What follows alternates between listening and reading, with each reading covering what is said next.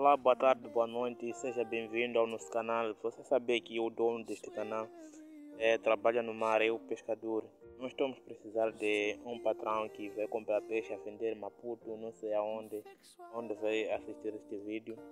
É, nós precisamos de um cliente que vai comprar peixe para vender lá. É, esse tempo de crise aqui, não temos cliente, não temos nada para vender. É por isso que estou a pedir por grande favor nos ajude. É, vou pôr meu número aí, embaixo vai ver.